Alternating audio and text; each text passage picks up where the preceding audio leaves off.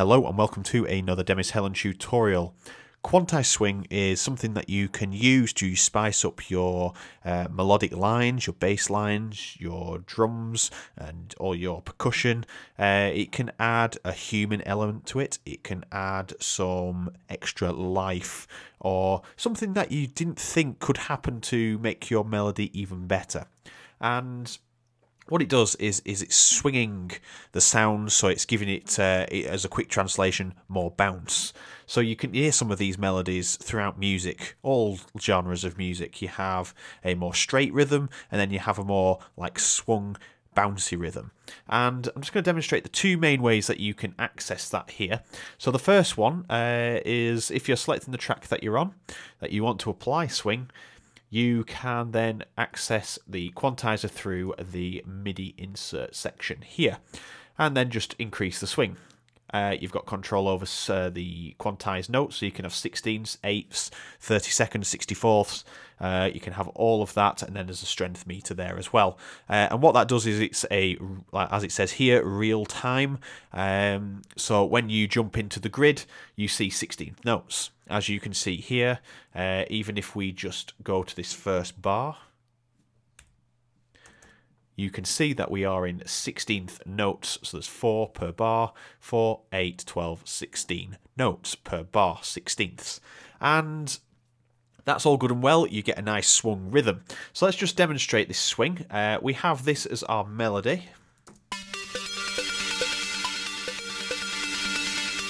Okay.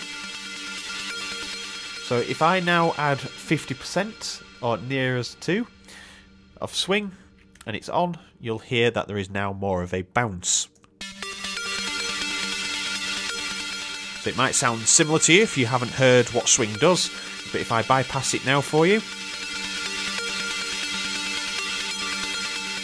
listen to those bottom notes you can hear, more straight, and now it's got more bounce. It's got a bit of a vibe to it. And swing really does enhance how things sound. Um, so if we was to go in here and add some bass notes, and we'll just add 16th rolling. And we'll just chuck it up an octave. And turn this off. Now you can hear that they're straight rolling. And they have more bounce. Okay, so when you jump in there, you can see that they are 16th notes and nothing's changed. So let's turn this off so we've got no quantization on. In fact, we'll just unload it so we know it's definitely not working.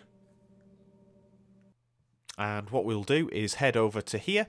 Uh, in the toolbar, we have a quantize section. As you can see, it's uh, 16th notes uh, and a few other settings. But if you click this drop down arrow here to open the quantize panel, you have the same things as you would have had over here. So you've got the grid, you can choose 16th, 8ths, quarters, 32nd, 64th, etc., etc.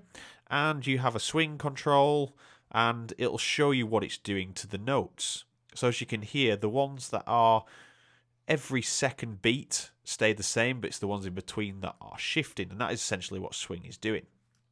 So the only difference with this one is if we put 50% swing on, and then if we just open this up in the background, if you look at this and hit quantize, you can see it shifts all the notes. And now, these 16th notes in the background, you've got one longer 16th note and a shorter one, and a longer one and a shorter one and longer. And it's applied in, like, physically right in front of you. So you can see exactly what quantize you have got. So if we was now to apply 100%, just watch these second notes. They've shifted right over and these gaps have got smaller and you've got that. Whereas if we take it down to zero and uh, apply,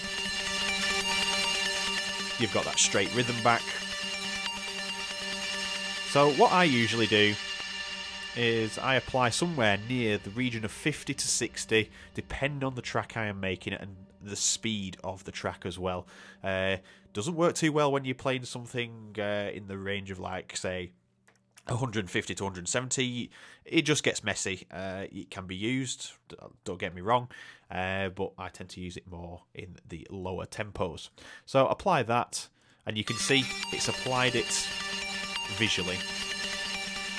Uh, so they're the two main ways that you can add swing to your beats to increase uh, the melody's presence, to make it more interesting, especially when you've got lots of offbeat notes that uh, sound shifted and a bit disorientated. It makes things sound a little bit better, especially these top notes here. Uh, just go in there and apply that again. Uh, you can see it shifted this note, it hasn't shifted that one, and it just gives you gives you a little bit more and you can see the bass is all this like disconcerted down here it's all off center and personally, it makes for a much more interesting track. Uh, and finally, uh, just to go off topic a little bit, uh, as this is the first video in the Cubase series, I just wanted to share that these three melodies here are available on my Patreon page. Uh, and to access these, uh, you need the $5 a month one. If you think the Demis Hellen channel deserves a subscription to Patreon, then head over and you can get these three MIDI files here.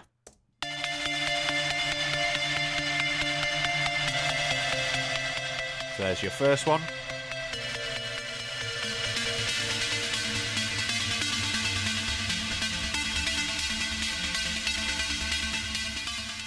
Uh, and don't get me wrong, I did make a mistake. It's actually $3, and the $5 one gets you uh, the presets as well. Uh, five per month, actually. And this is the final one.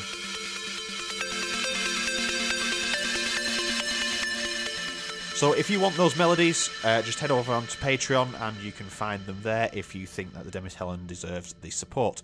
So if you enjoyed the video, please let me know in the comments below and also drop me a like and a subscription. Um, and I upload twice a week, minimum of two main videos, and then we have some of these quick tip tutorials in between. So thank you very much for watching, and I will see you.